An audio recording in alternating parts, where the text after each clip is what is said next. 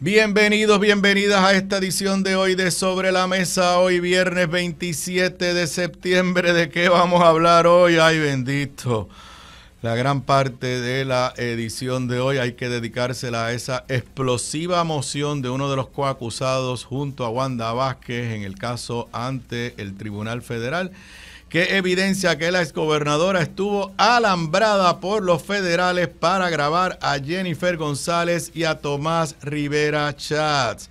Además de eso, que es la noticia que ha sacudido este ciclo electoral, ya van por 91 mil las nuevas inscripciones Debate de candidatos a alcalde de San Juan, sí lo vi a esas altas horas de la noche. Y la Comisión Estatal de Elecciones hace simulacro para transmisión de resultados. Esos son los temas que voy a estar discutiendo con ustedes en la tarde de hoy en Sobre la Mesa, que comienza ahora. Un líder cuya voz conecta historia y actualidad. Su visión clara y experiencia única dan luz a los temas que moldean nuestra nación. Aníbal Acevedo Vilá está en Radio Isla 1320. Esto es Sobre la Mesa. Nuevamente bienvenidos, bienvenidas a esta edición de hoy de Sobre la Mesa. Para los que me están escuchando en vivo o viendo en las diferentes plataformas en vivo, son las 4 y 57 de la tarde de hoy viernes. Sí, es viernes. Y el cuerpo lo sabe, aquí estoy en vivo como todos los días de lunes a viernes desde las 4 y 55 de la tarde. Me puedes escuchar a través de toda la cadena de Radio Isla 1320, a través de todo Puerto Rico, ver y escuchar por internet en www.radioisla.tv, también en la página de Facebook de esta emisora, en la página de Facebook de este servidor. Y sabes que si no me escuchaste o no me viste en vivo, me puedes escuchar o me puedes ver más tarde porque esta edición la vas a encontrar en todas las plataformas que permiten escuchar podcast a través del internet, Spotify, Apple Podcasts, Google Play y en la plataforma de Radio Isla 1320. Además, también me podrás encontrar en mi canal de YouTube. Fácil de encontrarme en YouTube. Escribes mi nombre en el buscador, Aníbal Acevedo Vilá, y ahí va a estar la edición de hoy. Más tarde en la noche y también están archivadas todas las ediciones anteriores y otras cosas que subo en video en mi canal de YouTube. Hoy es viernes, pero aunque es viernes y muchos de ustedes están acostumbrados a hablar, a que hable de deporte con Federico Fede López, hoy no hay edición de Deporte Zona 5, Fede está de viaje. Me temo que lo programó para no tener que reconocer que los Yankees de Nueva York ya aseguraron el título de su división y yo no tener que lamentarme que aunque yo me lo me lo huelía, como dicen por ahí, mis Red Sox de Boston quedaron oficialmente eliminados. Es lo único que voy a decir de deportes. Saludo a Luis Vega Ramos, saludo a Elba Bonilla, Luisito Inclán, fanáticos de los Yankees. Nos veremos, no sé a quién le voy, pero en los playoffs cualquiera menos los Yankees. Bueno, señoras y señores, wow. Esta mañana cuando desperté ya tenía varios mensajes en mi celular con expresiones como, ¿viste esto? ¿Y de qué se trataba? Me estaban enviando la nota que publicó temprano en la mañana, puedes ponerla ahí en pantalla, el periódico digital Noticel de la pluma del periodista y abogado Oscar Serrano, con una noticia que de verdad explosiva, sorpresiva, donde eh, Oscar Serrano y el titular dice, para leerles lo que decía la nota de eh, Noticel temprano en la mañana, obviamente la noticia ha ido evolucionando, pero decía temprano en la mañana, perdónenme por aquí que la estoy buscando, Wanda Vázquez grabó a Rivera Chat y a González Colón, González Colón es Jennifer, alegando soborno ante FBI. La agencia alambró a la exgobernadora Wanda Vázquez como parte de la pesquisa que se disolvió después de que ésta se convirtió en gobernadora. Eh, la historia viene acompañada por la moción por el documento. Puedes poner ahí en pantalla el, básicamente el cabezote de la moción que se presentó, además de leer cuidadosamente la nota de Oscar Serrano. Me eché al cuerpo, leí la moción completa y voy con ustedes primero a resumirle de lo que se trata y obviamente a compartir con ustedes el análisis legal y también el análisis político. Se trata de una moción de Mark Rossini. Mark Rossini es uno de los coacusados junto con el, eh, con el banquero, el banquero eh, eh, venezolano eh, siempre se me olvida, Belutini, ese es su segundo apellido, pero todo el mundo se recuerda del nombre de él por su segundo apellido, Herrera Belutini, Julio Herrera Belutini. Y junto a Wanda Vázquez, los tres están acusados en ese esquema que se ha discutido y que yo pensaba, voy a empezar por ahí, que el caso de Wanda Vázquez no iba a tener ningún efecto en estas elecciones, porque se va a ver en algún momento el año que viene, no recuerdo cuál es la fecha que tiene, enero, febrero, hay una guerra de mociones y contramociones, pero eso que yo pensaba y que me imagino que lo pensaban los amigos del PNP, hoy en cierta medida ha quedado en el pasado porque esta moción, vuelvo y repito, es una moción presentada por Mark Rossini. No es una moción a la que se une Wanda Vázquez, no es una moción a la que se une Herrera Bellutini, eh, es una moción que solo presenta Mark Rossini. Es una moción de desestimación, o sea, lo que le están pidiendo al juez es que desestime todos los cargos eh, y además de las expresiones eh, o las alegaciones eh, explosivas sobre Jennifer González y Tomás Rivera Chá, a eso voy. Tengo que decirles, me la ley completa, como les indiqué. Me la ley completa y la realidad es que, tengo que decirlo, yo no soy fan de ninguna de estas personas, pero las alegaciones que se hacen ahí por los abogados de Mark Rossini, que era un ex agente del FBI que fue contratado por Herrera Bellutini para que lo ayudara con el revolú que él tenía con el banco ese que estaba siendo investigado aquí en Puerto Rico, Banco Internacional. Las alegaciones que hacen ahí, a mi entender, debilitan grandemente el caso contra los tres.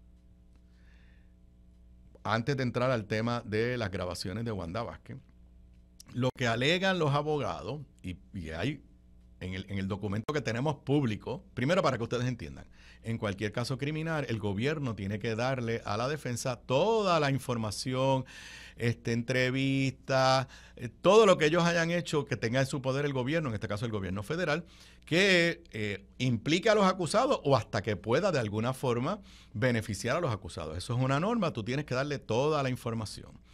Y esto, eh, la alegación de Marco Cini, y de sus abogados emana de toda esa información que han recibido de parte de la Fiscalía Federal en el caso contra ellos. La alegación principal, que no es la de las grabaciones, las grabaciones tienen unas implicaciones políticas que veremos a ver cómo evoluciona. La alegación principal es que Mark Rossini, que vuelvo y repito, era un ex agente del FBI, o sea, andaba en ese mundo de los federales, estuvo en comunicación constante con las autoridades federales porque la alegación de Herrera Bellutini y de Mark Rossini, que fue la persona contratada por Herrera Bellutini, era que en la oficina del inspector de instituciones financieras en Puerto Rico había corrupción. Y quiero que sepan que en esa moción, que está pública y que la pueden encontrar en Noticel, que no les dije, ya la leí completa, no leí los anejos, pero sí la moción eh, como tal, en esa moción se evidencia con copias de mensajes de texto y de emails, de correos electrónicos, que Mark Rossini estaba en constante comunicación con Doug Lev. ¿Quién era Doug Lev? El jefe del FBI aquí en San Juan. Ahí tiene el encabezamiento de la moción que, como le dije, eh, eh, me la examiné con mucho cuidado antes de venir para acá esta tarde. Sí, señoras y señores, el acusado Mark Rossini, actuando a nombre de Herrera Bellutini, se estaba comunicando todo el tiempo con Doug Lev diciéndole, dándole información, primero diciéndole, me contrató Herrera Bellutini de Bancrédito, de esta, bla, bla, bla, te quiero ver en San Juan o te quiero ver en Nueva York. Hay una comunicación totalmente amigable entre Mark Rossini y Doug Lev. Para mí me, me, voló la cabeza, no le voy a decir que en la famosa reunión en la que se alega que Wanda fue eh, intentada sobornar o sobornada por Herrera Bellutini, Rossini se lo informó a Doug Lev que se iban a reunir el día tal, no me acuerdo ahora qué día era, el día tal que se iban a reunir con Wanda Vázquez. Y hay todo, vuelvo y repito, todo un intercambio de mensajes de texto y correos electrónicos que por lo menos a mí me generan serias dudas de cuán sólido es el caso de las autoridades federales contra eh, los tres acusados. Porque ¿cómo tú vas a decir que tuviste una reunión con Wanda Vázquez en la cual se conspiró para te doy eh, una ayuda en tu campaña a cambio de que despida al que dirigía la oficina de el, de, eh, el comisionado de instituciones financieras, cuando tú le informaste al jefe del FBI que te ibas a reunir con Wanda Vázquez.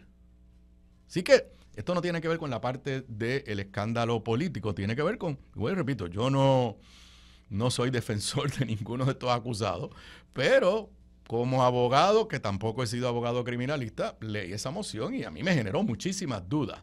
Cuán sólido es el caso de las autoridades federales. Obviamente, esto es una moción de desestimación, le tocará eh, al tribunal tomar sus determinaciones en su momento. Ellos están pidiendo, me parece que también es una vista oral o una vista evidenciaria como parte de su petición de, eh, de, de, la, ¿cómo se dice? De, eh, piden una vista evidenciaria para que el, el, tribunal considere su moción. ¿Qué va a pasar con esto? Creo que es muy probable que nada de eso suceda en los próximos 39 días, que son las elecciones, pero ahí está. Ok, además de dar a conocer que Mark Rossini, por instrucciones del banquero venezolano, estaba colaborando y en comunicación con los federales. Además de eso, aquí viene lo explosivo, que es que da a conocer que en el verano del 2019, esto comienza antes que Wanda Vázquez asuma la gobernación, en ese periodo, aquí hay que tener esto bien claro porque esto tiene mucho que ver con cómo opera el alto liderato del PNP. Ustedes recordarán cuando explota el chat, el que era secretario de Estado de eh, Ricky Rosselló renuncia. Y por ende se crea una vacante en el puesto de secretario de Estado. ¿Qué quiere decir eso? Que en una gran deficiencia democrática, como quién iba a ser secretario de Estado lo decidía Ricky Rosselló, gobernador, con la confirmación de Cámara y Senado.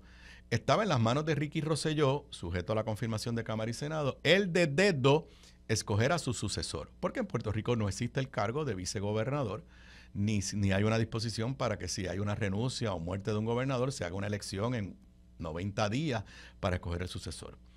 Así que una vez se va a hacer evidente que Ricky Rosselló va a renunciar, comienza una lucha interna dentro del PNP a espaldas de nosotros, del pueblo de Puerto Rico, aunque hay actos públicos que los vamos a ver ahorita y vamos a escucharlos ahorita, para quien se quedaba con la gobernación. Obviamente, por disposición constitucional, si no había secretario de Estado, si no había secretario de Estado, le tocaba a Wanda Vázquez, que era la secretaria de Justicia. El gobernador, recordará, nombró a Pedro Pierluisi, y en ese proceso donde Tomás Rivera Chat le abre fuego a Pedro Pierluisi y se empieza a evidenciar que Tomás no va a confirmar a Pedro Pierluisi, se hace, y esto está en los documentos que reciben los acusados. Vuelvo y repito, esto no es rumor, esto no es un chisme.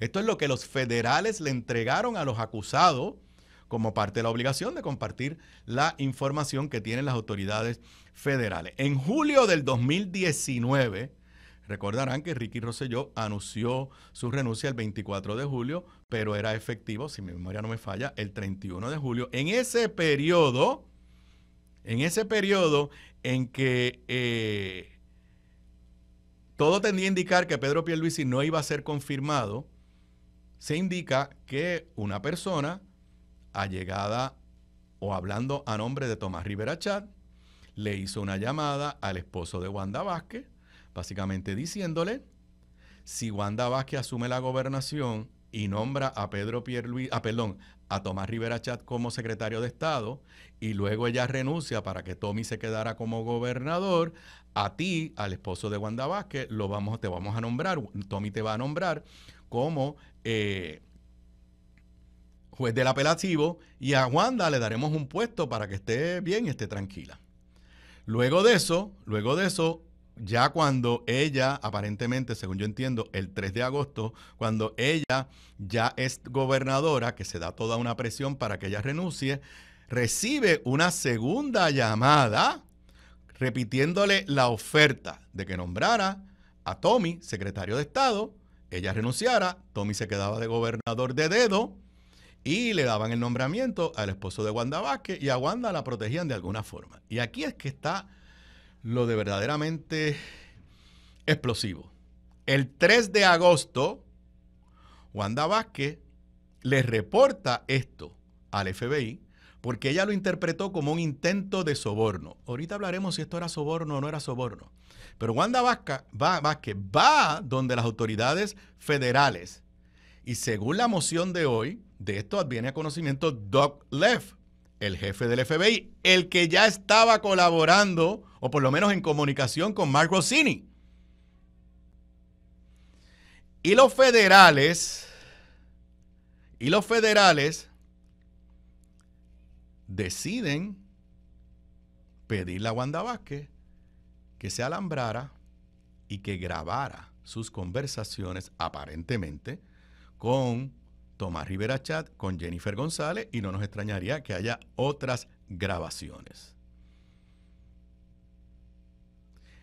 Se relata que hubo una reunión de Wanda Vázquez con Jennifer González, no estoy claro si es una reunión en persona o es por teléfono, donde Wanda le dice, yo no voy a renunciar, y Jennifer le dice, pero has hablado con Tommy. De eso, dice la moción, el FBI pensó que había una conspiración entre Jennifer González y Tomás Rivera Chats para sobornar a Wanda Vázquez. La moción dice que en fecha posterior, en fecha posterior, todo se terminó, no continuó la investigación porque Wanda Vázquez dice que no contestaba las llamadas o no colaboraba con las autoridades federales. Sobre eso, mi interpretación puramente legal.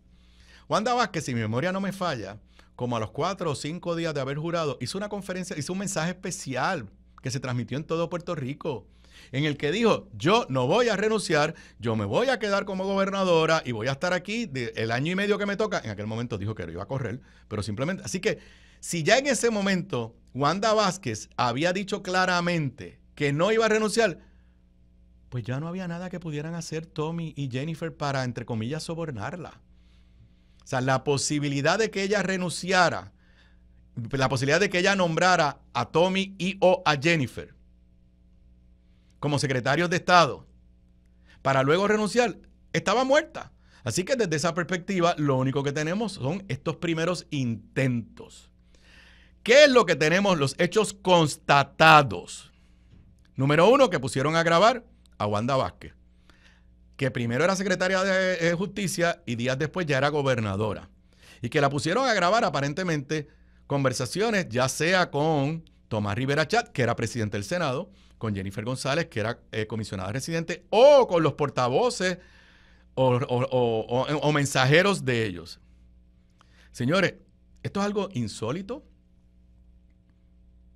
para que el FBI le dijera a una gobernadora, usted está dispuesta a grabarse, y le dijera y graba conversaciones con el presidente del Senado y con la comisionada residente, es un asunto serio. No hay duda que en el FBI pensaban que podía haber un esquema de soborno y una conspiración entre Jennifer y Tomás. Y aquí yo sé mucha gente y los haters me van a decir lo que sea. ¿Qué hace Aníbal hablando de esto? Si Aníbal fue acusado. Pues le voy a decir lo siguiente. Aparte de que sí, fue acusado y la inmensa mayoría del país sabe que era una investigación y acusación motivada políticamente y que sin presentar ni una, nada de evidencia, 12 a 0, eh, el, jurado eh, me, dio, me dio la razón. Yo quiero que sepan algo. A mí nunca me grabaron ni mandaron a nadie a grabar. ¿Por qué no me grabaron? Porque sabían que era una pérdida de tiempo porque sabían que si me mandaban a alguien a grabar para proponerme algo ilegal, me les iba a reír en la cara y los iba a mandar para buen sitio. Para que estén claros. No hay ni un mensaje de texto de este servidor, ni un email, ni nada de eso. Aquí el FBI le ha pedido a la gobernadora en aquel momento que grabara al presidente del Senado y a la comisionada residente y a sus mandadores o mensajeros. Ahora, esto que nos describe esta moción está validado por los hechos en aquel momento. Señores, en aquel momento todo el mundo sabía que Tommy quería ser gobernador, pero que si no lograba ser gobernador, su fallback position era que fuera Jennifer. Y le voy a decir lo que yo estoy seguro que estaba en la mente de Tommy. Acuérdense que en el verano del 2019 todo el mundo en el PNP pensaba que iban a perder las elecciones, tristemente, eso Eso es otro tema. El Partido Popular no supo qué hacer y no ganó las elecciones del 2020. Pero en aquel momento todo el mundo en el PNP pensaba que eso era sálvese quien pueda. Y yo creo, primero, Tommy toda la vida ha querido ser gobernador. Lo que pasa es que Tommy, yo le he dicho, lo dije aquí cuando estaba hace años en este programa, Tommy es un secundón. Siempre quiso ser gobernador, nunca va a llegar a ser gobernador. Es un secundón bien poderoso. O sea, no voy a quitarle que Tommy, Tomás Rivera Chávez es una persona súper poderosa que manipuló a, Luis Fortuño, que manipuló a, Ricardo Rosselló, que manipuló a, Pedro Pierluisi y, y, que se cuide y que se cuide Jennifer. Pero si Tommy no puede ser gobernador, ¿cuál es su segundo puesto que él quiere ser? Juez del Tribunal Supremo y eventualmente ser juez presidente del Tribunal Supremo. Así que a mí no me extraña que la negociación entre Tommy y Jennifer era, bueno, si yo no soy gobernador, tú eres gobernadora, eres gobernadora porque yo te voy a dar los votos en el Senado y tú me nombras al Tribunal Supremo y como los que están allí en el Senado son mis panas, me van a confirmar. Vamos a reproducir un pequeño corte el Internet es algo extraordinario, un pequeño corte en esos días, cuando Wanda haga, cuando Tommy gana en el Tribunal Supremo, porque hay que reconocerlo, Tommy va al Tribunal Supremo para que saquen a Pedro Pierluisi y le dan la razón, con lo cual todos estuvimos de acuerdo. 9 a 0 en el Tribunal Supremo.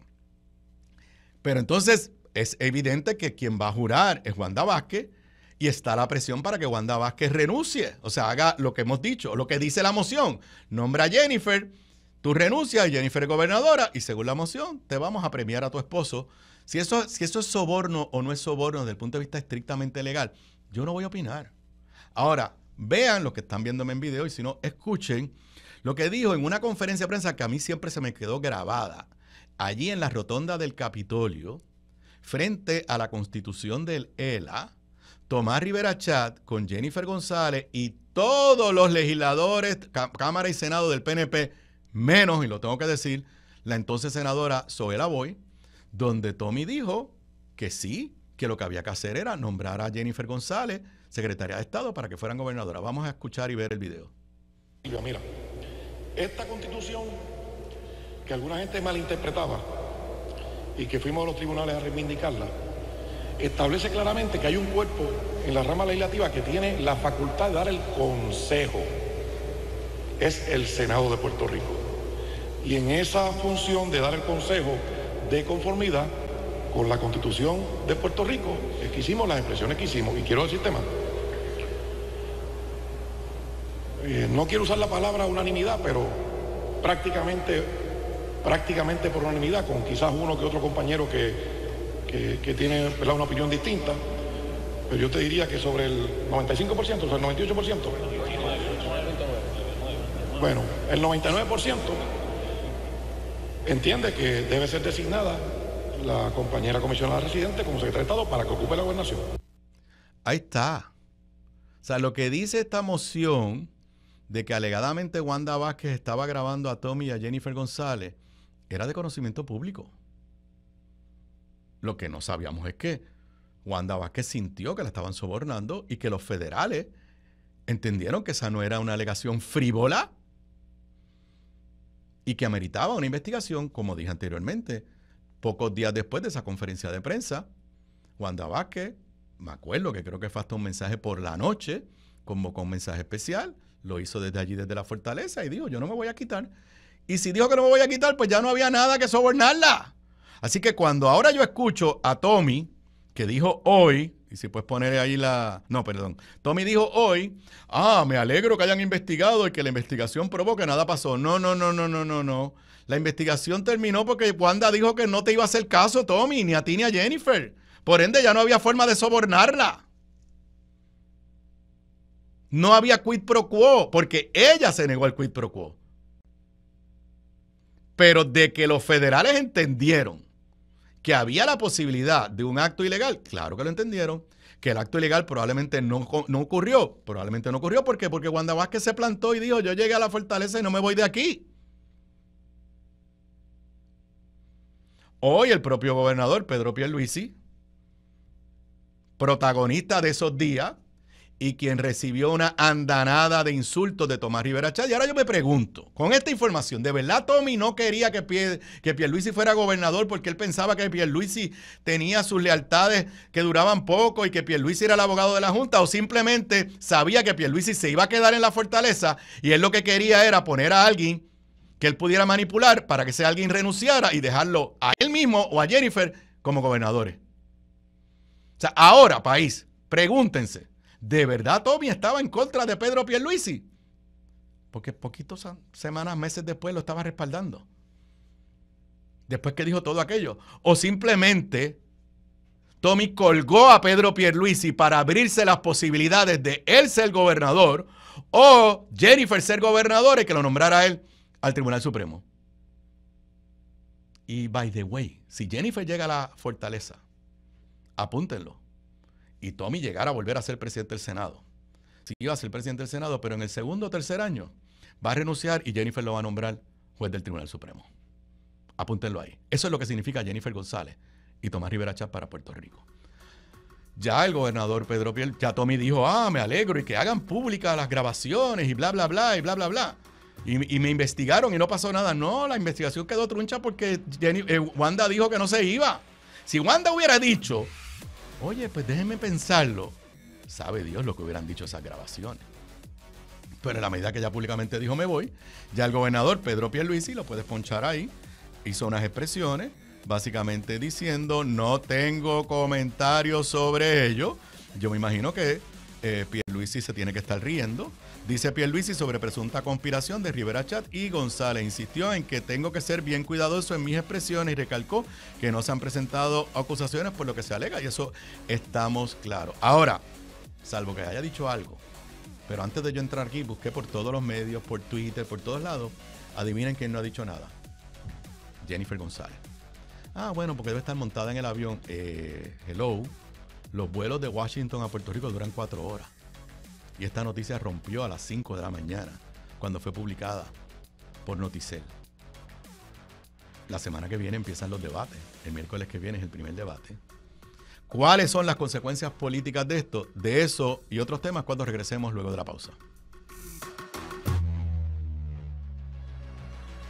Caribí, tu marca puertorriqueña en productos de calidad para la cocina y la limpieza del hogar. Con Caribí encontrarás toda la colección de utensilios de cocina de la reconocida chef Joanna Heike. También platos, vasos, así como equipo de limpieza hogareña. Caribí, distribuido por manos de aquí. Calidad, experiencia y el mejor precio. Pide los productos en tu supermercado más cercano. Simplifica tu vida con Caribí. Distribuye North Caribe Import, celebrando su 50 aniversario. Gramas lindas, gramas, plantas, palmas y todo para tu jardín. En Dorado, 796-1386. 796-1386. Gramas lindas, excelente calidad y servicio insuperable. 796-1386.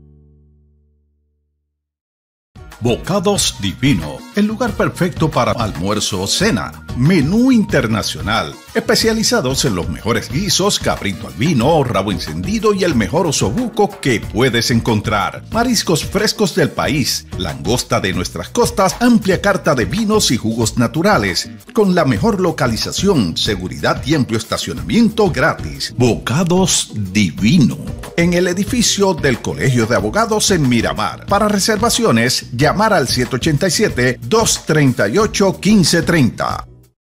Y de regreso a Sobre la Mesa, son las 5 y 27 de la tarde de hoy, viernes 27 de septiembre. Buen día para darse la vuelta por Bocado Divino allí en la sede del Colegio de Abogados. Allí estará su chef y su dueño Víctor Lebrón. La realidad es que se come muy bien allí. Oiga, acabo de escuchar a Julio hablando de Double Date y me asusté de momento, pero no, es una serie que promete Julio y Mili conversando y compartiendo con las parejas de los cuatro candidatos y candidatas a la gobernación. Empieza el primero de octubre, así que lo búsquenlo en YouTube, eh, esa eh, producción de aquí de Radio Isla 1320. Bueno. ¿Cuáles son los efectos políticos, creo yo, de esta explosiva eh, eh, moción que fue dada a conocer por Oscar Serrano? Repito, esto no es un rumor, es una moción. Eh, todo lo que está ahí tiene que haber ocurrido. Lo que hay es, pues, cuáles, cuáles son las consecuencias políticas. Pues le voy a dar mi análisis rapidito para pasar a otros temas. Número uno, esto trae y pone nuevamente sobre la mesa el verano del 2019.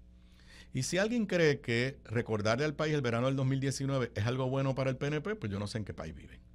Pero todo esto revive el verano del 2019, el chat, todo lo que pasó, Pierluisi, eh, la guerra entre Pierluisi y Tomás Rivera Chat, todo eso lo revive este, esta moción de hoy.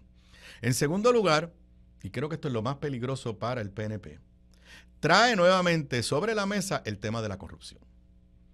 Si algo a principio de año todos pensábamos que la corrupción iba a ser el tema principal en esta campaña. Luego vino el desastre de Luma, o se agudizó el desastre de Luma, y entonces la estrategia del PNP ha sido no hablar de esos temas, no hablar de corrupción. Jennifer ha tratado de recuperarse de sus crasos errores, inconsistencias sobre Luma y cuando dijo que era eh, irresponsable cancelar el contrato y cada vez la prensa se lo recuerda, porque lo dijo pero esta nueva moción pone sobre la mesa el tema de corrupción. Pero lo pone sobre la mesa a los niveles más altos, ya no a nivel del alcalde de Cataño, ya no a nivel de Julia Keller, lo pone. Yo no estoy diciendo que, lo dije ahorita, ahí no hay eh, eh, conclusión de que hubo el soborno. Como dije, si Wanda Vázquez dijo que se quedaba en la fortaleza y que no iba a renunciar, pues no había nada que negociar. Pero el que me diga a mí que esto no pone en la cabeza de miles de electores qué era lo que estaban tratando de hacer Jennifer González y, Tomás Rivera Chat con Wanda Vázquez en aquel momento del verano del 2019, pues entonces, por lo menos yo le puedo decir a ustedes, obviamente los PNP, corazón del rollo, eso no lo va a cambiar nadie.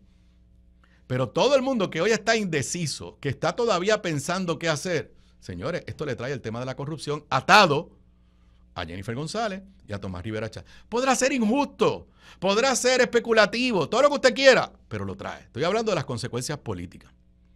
Además, esto opaca, echa al zafacón todo el mensaje de Jennifer González, especialmente de que ella es cambio, de que ella representa algo diferente a los ocho años del gobierno del PNP que el país detesta. Porque si usted hace una encuesta de si la gente está contenta con su gobierno durante los últimos ocho años, yo no tengo la más mínima duda que el 80% va a decir que no. Y por último, esto echa al zafacón toda la campaña del comunismo. Porque ¿cuál es el argumento ahora? No, somos corruptos, somos chanchulleros. Ah, pero como no somos comunistas, tienes que votar por nosotros. Al poner nuevamente en la mente del elector puertorriqueño, más allá de Luma, más allá del, del sistema de salud colapsado, de la politiquería en educación, al poner nuevamente en la mente del puertorriqueño la corrupción, se le hace bien difícil a Jennifer y al PNP seguir con el embeleco este del comunismo. Así que, ¿qué efecto va a tener esto de aquí en los próximos 39 días? Difícil de predecir, pero para mí esto es un jamaquión a la campaña de Jennifer González, un jamaquión a la campaña del PNP. ¿Ustedes creen que los puertorriqueños van a recibir ese mensaje de voto íntegro, tres cruces debajo de la palma? Con los brazos abiertos cuando les recuerdan el verano del 2019 y se enteran que Wanda, porque esto es una guerra dentro del PNP, se enteran que Wanda Vázquez fue a los federales a decirle que ella se sentía que Tomás Rivera Chat y Jennifer González la estaban eh, sobornando. O sea, pedir el voto íntegro de Jennifer González, pedir que la gente vote por Tomás Rivera Chat, ¿Qué va a hacer la oposición política con esto? Pues estará por verse y creo que como habíamos dicho, los, debates que comienzan el próximo miércoles es el primer debate, van, eh, el primer debate en, en Guapa Televisión va a, me parece que los debates van a jugar un rol crucial de aquí al 5 de noviembre. Bueno, en otro tema íntimamente relacionado con la elección, el lunes, aquí, el lunes, eh, yo eh, les decía que eh, eh, analizaba el número de inscritos. Recuerden que la, fecha para inscribir había cerrado el sábado pasado, 21 de septiembre. En aquel momento les dije que había un crecimiento de los últimos 21 días, según los datos que nos habían dado, un crecimiento como de 23, 24, 25% si lo comparabas con el 31 de agosto, o sea, el último día de agosto. Y que me parecía que era un crecimiento interesante, no era una cosa exageradamente alta y que todos especulábamos si había tenido efecto el llamado de Bad Bunny y otros artistas y el PNP se jactó burlándose porque lo triste de esto es que el PNP celebraba que los jóvenes no se hubieran inscrito. Pero en aquel momento, el lunes, si quieren búsquenlo, les dije que había miles de transacciones que no habían sido todavía tramitadas por la Comisión Estatal de Elecciones y que yo me temía que miles de esas transacciones eran inscripciones. Bueno, pues hoy, si puedes ponchar ahí el titular del periódico El Nuevo Día, edición digital, hoy nos informan que hasta anoche ya van por 91.443 nuevos inscritos. Y reactivados, el número de reactivados, que son los que no votaron en el 2016 y en el 2020, superó el número de reactivados del 2020, 83.945. Al primero, al 31 de agosto, se habían inscrito 57 mil. Ahora andamos por 91 mil. Señores, eso es un crecimiento de 60% en 21 días. No tiene comparable con el 2020 y me atrevo a decir que no tiene comparable con el 2016. Ah, que todavía estamos por debajo del número que se inscribieron en el 2020, sí, pues por todos los problemas que ha habido con la Comisión Estatal de Elecciones, que no fueron a las escuelas, que el RS digital no funcionaba, todo eso. Pero que en 21 días se inscribieron cerca de 40 mil jóvenes, bueno, mayormente jóvenes. Hay personas que se inscribieron que nunca habían votado, o lo que fuera. Y que eso es un aumento de 60% en 21 días si alguien quiere negar que ese es el efecto de Bad Bunny, bueno, pues sigan, sigan negándolo.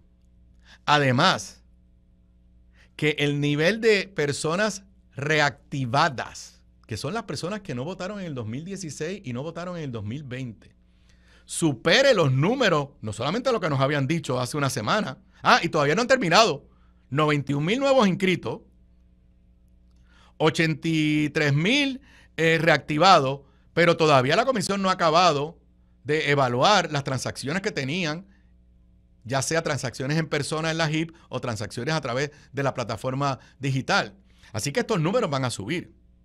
Pero que 81 mil, 83 mil que no votaron en el 2016 y 2020, que es un número más alto que el que se dio en el 2020. Señores, obviamente ni ustedes ni yo ni nadie sabe cómo esta gente va a votar. Pero alguien piensa que alguien, o sea, ¿cuál es la probabilidad, porcentualmente hablando, de que alguien que no votó en el 2016 y luego no votó en el 2020, ahora pasó el trabajo de reactivarse para votar por el gobierno presente, para votar por el PNP? No sé. Primero, tengo que felicitar a todos los que de una forma u otra, a los artistas, a todo el mundo que llevó a cabo este esfuerzo, porque si no, probablemente no se hubiera inscrito casi nadie. Si hay 91 mil, yo no sé cuántos faltan todavía por evaluarse, cuántas transacciones, pero sabe Dios si se acerca a los 95 mil inscritos, eh, nuevos inscritos en este ciclo electoral. Y ya les dije, 78 mil 85 se reactivaron en el 2020, ya va por 83 mil 945 reactivados para este ciclo electoral. Creo que para la democracia puertorriqueña, eso son buenas noticias.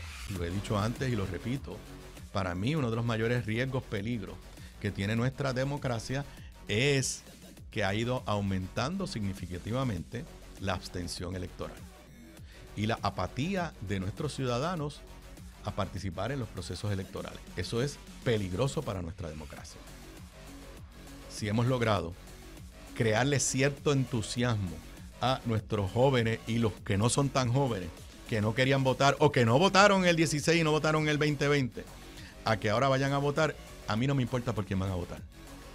Lo que yo quiero es que salgan a votar, porque repito, es un peligro para la democracia puertorriqueña que cada día más personas se sientan que es una pérdida de tiempo participar de los procesos democráticos, de los procesos políticos, de los procesos electorales, cuando las decisiones que tomen nuestros gobernadores, nuestros legisladores, nuestros alcaldes, nos afectan a todos.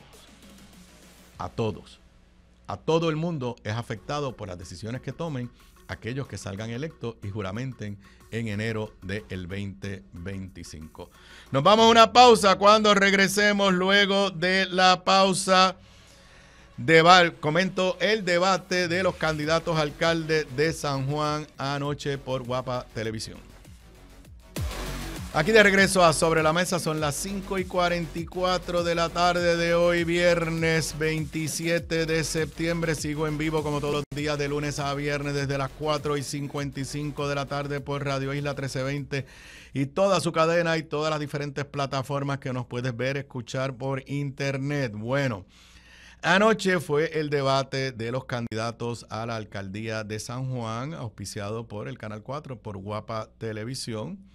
Comenzó a las 10 de la noche, terminó como a las 11 y cuarto de la noche. Lo vi, a pesar de esas horas tan absurdas. Primero, voy a decir para mí quién fue el gran perdedor. El gran perdedor de este debate de ayer de la alcaldía de San Juan, de los candidatos, fueron los televidentes y los electores de San Juan. Primero porque ese horario es absurdo. Lo hizo Guapa Televisión en el 2020 en la en el debate para comisionado residente. De verdad, no me hace ningún sentido, no me hizo sentido en el 2020, no me hace ningún sentido decir que quieres orientar a los electores y hagas un, hagas un debate en vivo, porque era en vivo, a las 10 de la noche. Desde esa perspectiva, de salida, usted lo que está haciendo es que la inmensa mayoría de los electores no lo van a ver y los televidentes. Porque las 10 de la noche es de los horarios que menos se ve televisión en Puerto Rico y en cualquier lugar del mundo. Eso es lo primero. Y lo segundo, el formato. Por eso digo que los grandes perdedores para mí son los televidentes y los electores. Era un formato donde primero tenías, creo que era 30 segundos o 45 segundos para el mensaje de apertura y lo mismo al final. Después los periodistas te hacían una pregunta, tenías un minuto nada más para contestar. Y entonces había una regla ahí que yo no entendí bien de, refutación o qué sé yo, que entonces tenía 20 segundos. Mire, o sea, con un minuto para contestar, usted no puede profundizar en ninguna idea. Eso parece esos concursos donde te dicen, te dicen una palabra y tienes cinco segundos para decir lo primero que te venga a la mente cuando te dicen esa palabra. Así que es un formato, eh, es un formato eh, que no permite profundizar en las ideas, en la discusión de ideas, y que no permite el intercambio entre los candidatos. No sé si ese va a ser el mismo formato para la candidatura, la, perdón, el debate para la gobernación, pero si repiten el mismo formato, los de la gobernación van a ser en un horario más razonable. Voy a chequear aquí porque lo tengo en mi calendario.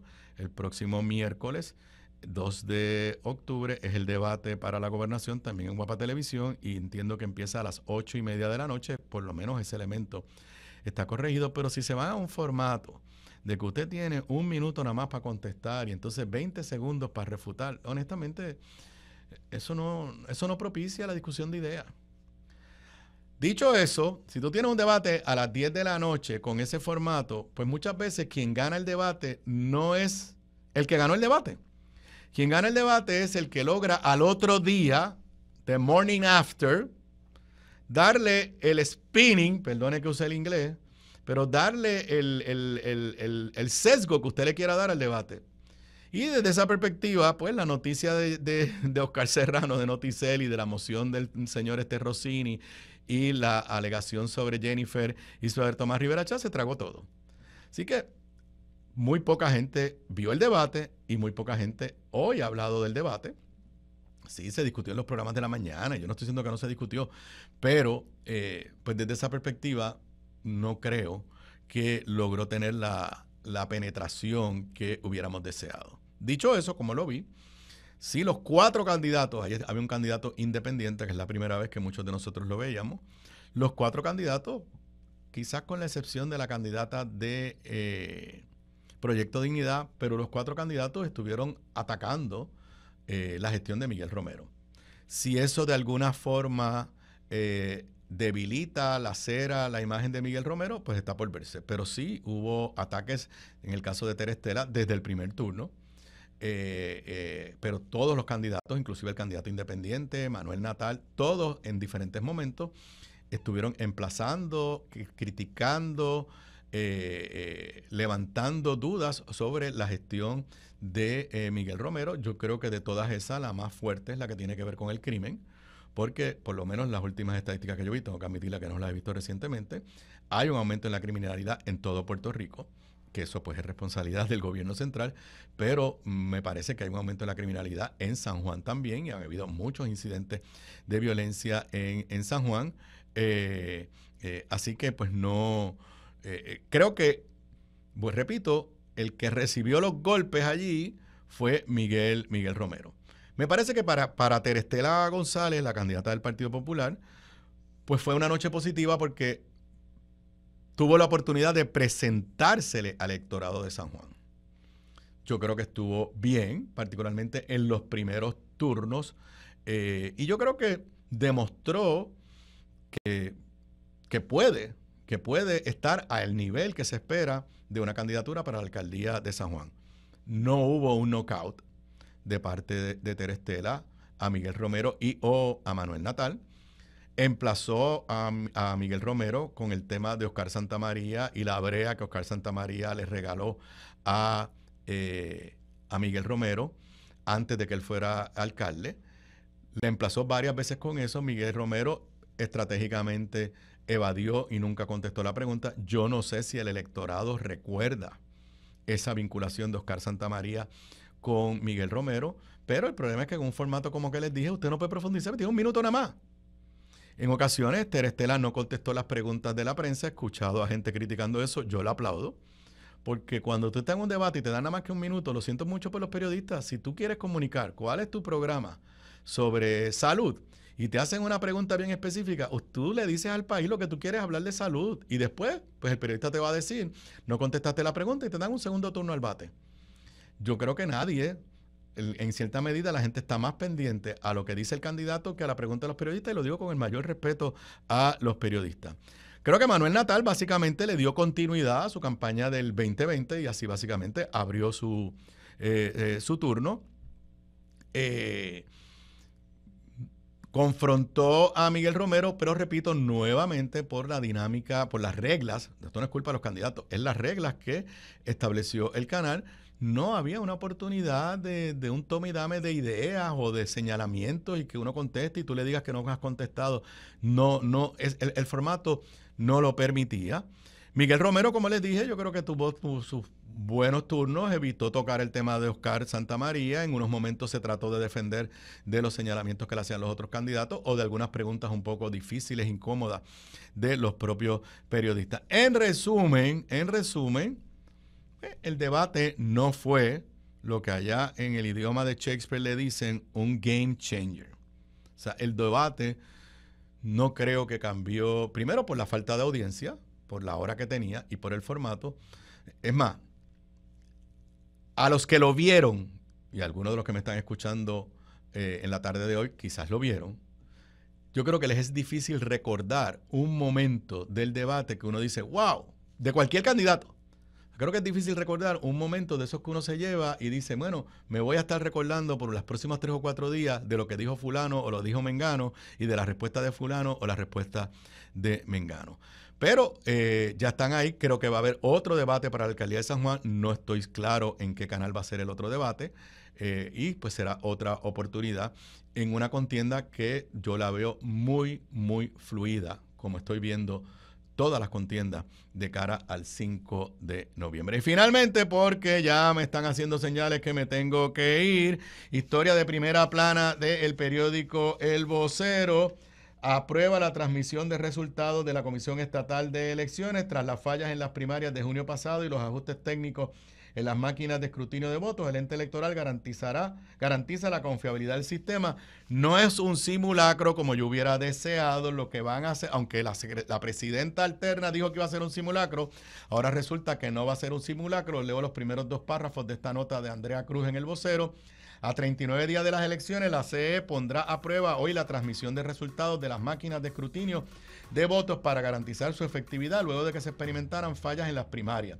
Aunque la presidenta alterna eh, indicó a inicios de septiembre que hoy viernes se celebrarían un simulacro electoral, la funcionaria aclaró ayer que lo que se llevará a cabo en el edificio central en Atorrey es una demostración de la transmisión de resultados con unas 114 máquinas de escrutinio de votos por una por precinto electoral. Yo no sé si eso es suficiente, los expertos electorales nos dirán, pero por lo menos del lobo un pelo, por lo menos vemos que algo están haciendo para evitar el problema con la transmisión, no estoy hablando de otros problemas, evitar el problema con la transmisión de resultados desde los colegios hacia la CEE e que se vivió en las primarias de junio de este año. Son las 5 y 54 de la mañana, de la, de la mañana, es que yo hacía esto por la mañana de la tarde. Con eso yo me retiro por hoy. Lo próximo, el informe del tiempo con su Hailey López Belén.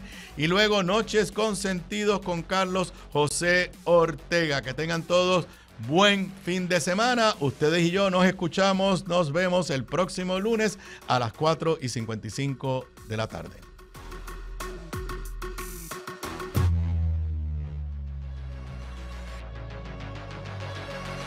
En temporada de huracanes, Radio